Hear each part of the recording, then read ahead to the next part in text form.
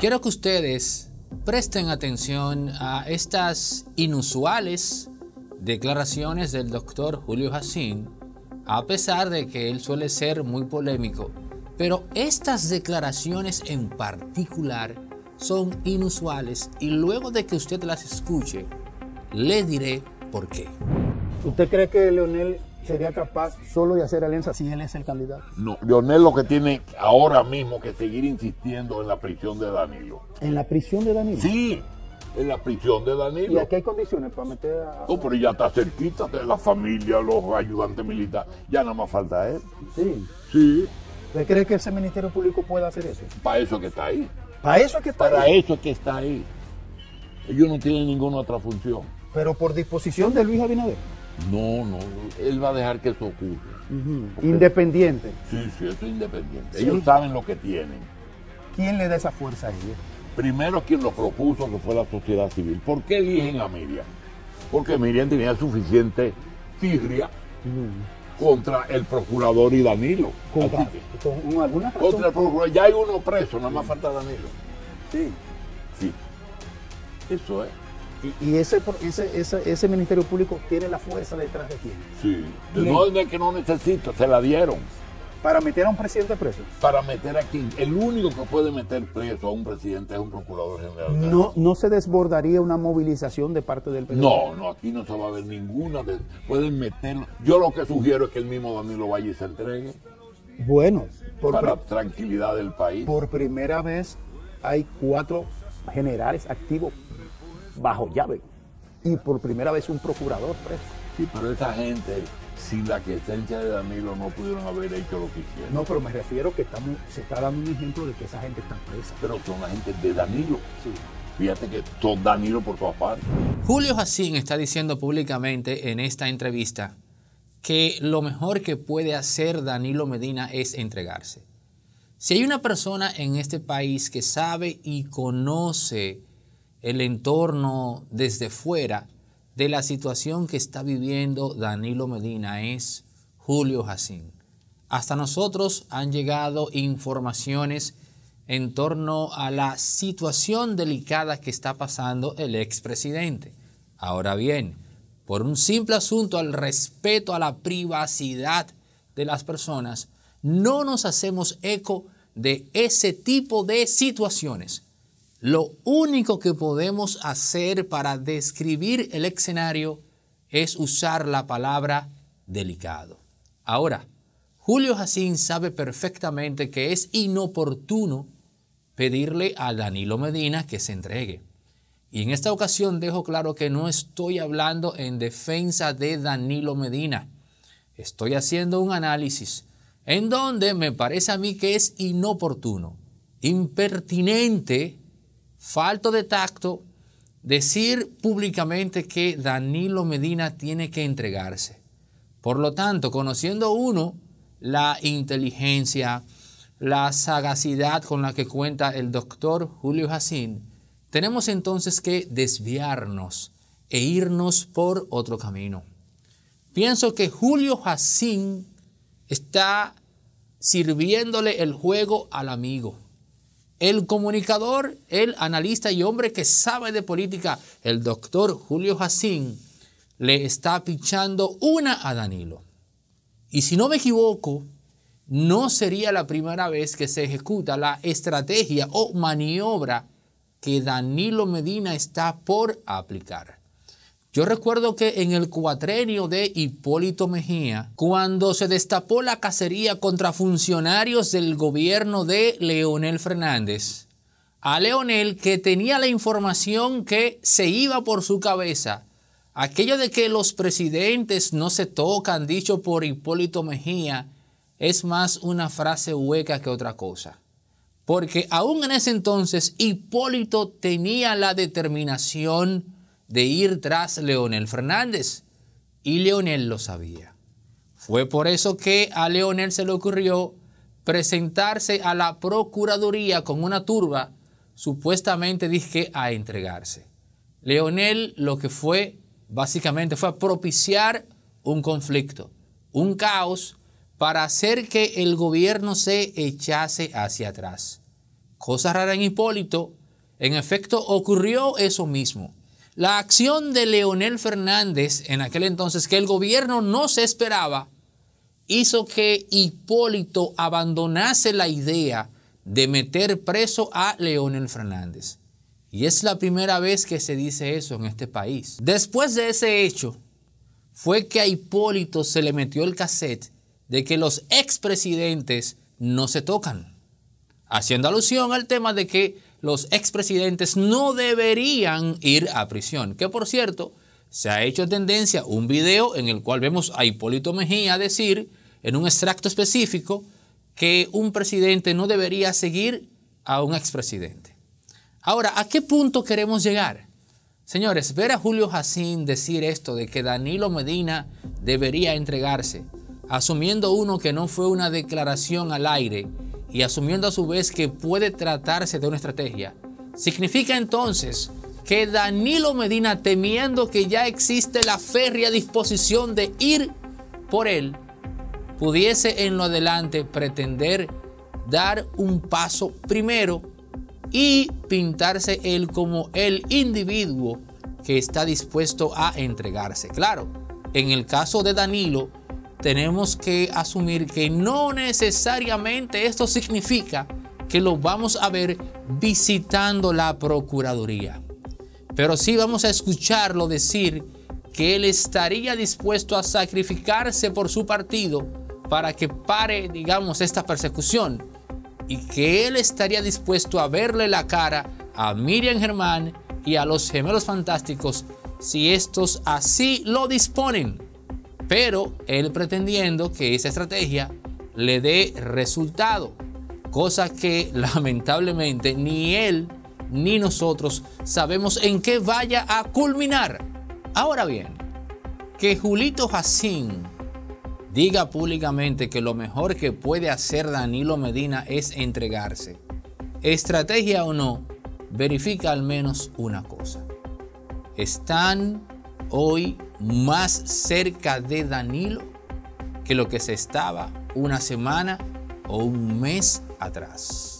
Ahora, ¿quieren ustedes saber cuál es la única arma con la que cuenta Danilo Medina en caso de que finalmente vayan por él?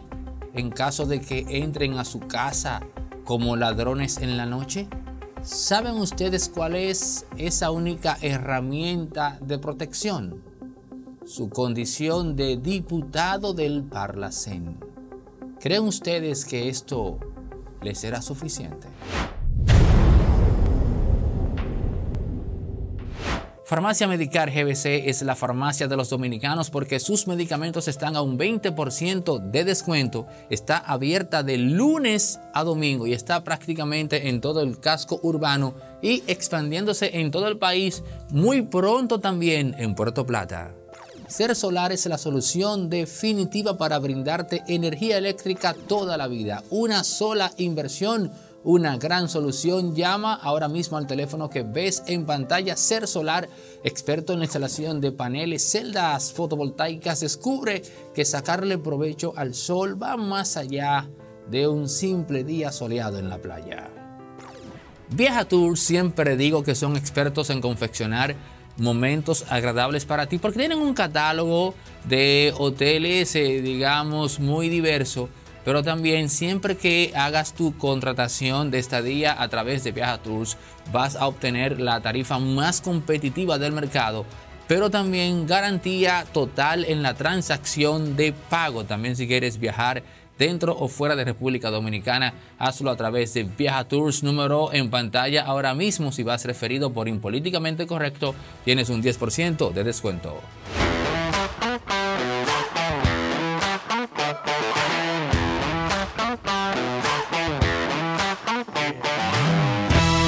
Vamos a hacer un crossover y vamos a hablar un poco de arte en Impolíticamente Correcto porque ya yo estoy harto de escuchar a los merengueros de República Dominicana hablar y quejarse del poco respaldo que tiene el merengue, quejarse del hecho que el merengue va de capa caída, etcétera, etcétera, cuando en realidad, y sea la primera vez dicho esto en nuestro país, quienes tienen la culpa de la debacle del merengue como fenómeno cultural propio son esos mismos merengueros. Esos mismos merengueros que no creyeron en ellos. Los primeros responsables de retirarle el apoyo al merengue son sus exponentes. ¿Por qué razón? Por el simple hecho de que no quisieron arriesgarse.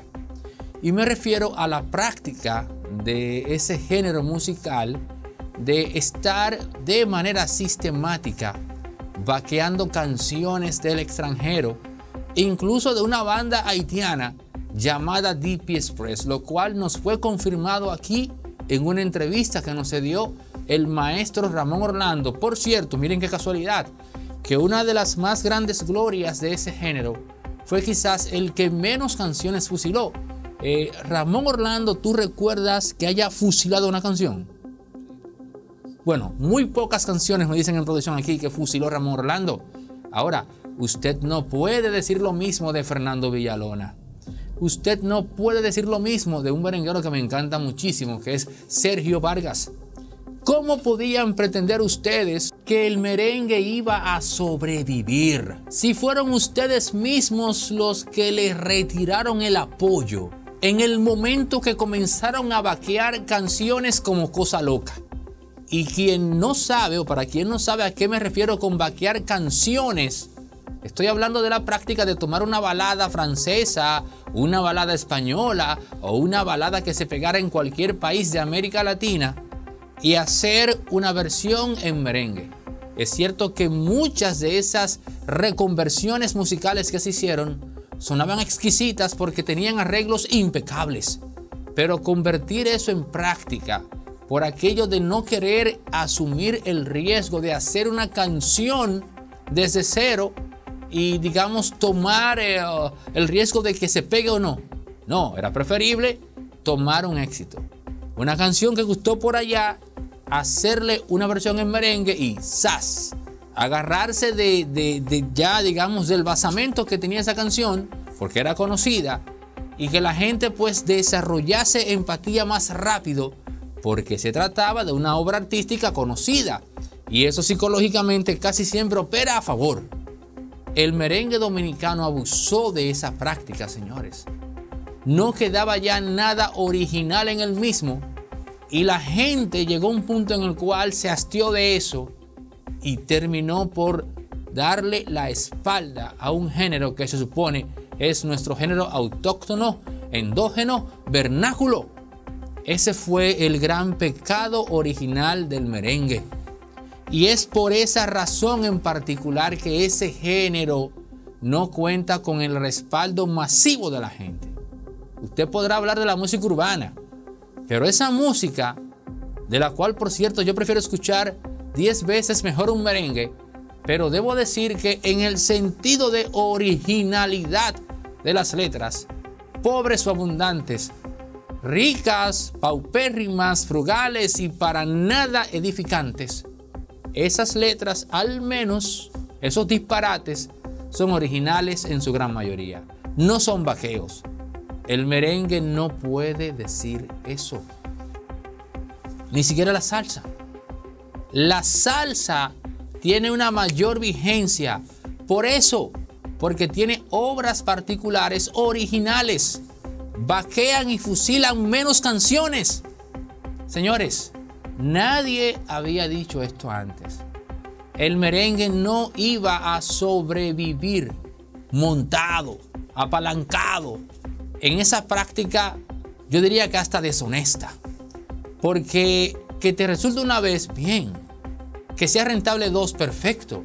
Pero caramba, la tercera, la cuarta, la quinta, que hay merengueros que hacían álbumes completos, álbumes, oigan bien, desde la primera hasta la última canción, baladas fusiladas. El merengue perdió rápido su originalidad y mucho duró en el gusto popular, mucho duró, pero llegó un punto en el cual la gente dijo, no, pero espérate, y el público le retiró el apoyo. Ese es el gran fracaso, o más bien, esa es la gran razón por la cual nuestra música nacional, el merengue, terminó fracasando. Esa es la causa por la cual nosotros como nación terminamos dándole la espalda, porque tras tantas canciones fusiladas, asimilamos el merengue más como una pantomima que como un género musical. Tenía que decirse. Y quien no acepte esto simplemente da muestras de que no está preparado para esta conversación. Estamos de lunes a domingo, dos capítulos en el canal principal, uno en el secundario y estamos también en Terradar 3.0, nuestra plataforma internacional, pero también estamos en Donde se cae el show, nuestro programa de radio de lunes a viernes por la Roca 91.7 de 5 a 6 de la tarde. Y también estamos en Patreon, sí, este es un llamado para la gente que quiere que esto siga, que perdure y que crezca. En Patreon puedes entrar cuando gustes y aportar con lo que gustes en www.patreon.com backslash impolíticamente. Dejo el link de acceso en la descripción de cada video. Pero quiero dar gracias eh, también a la gente que se suscribe, que activa la campanita y que comparte nuestros contenidos. Muy importante esto también para seguir en pie. Gracias a todos de antemano.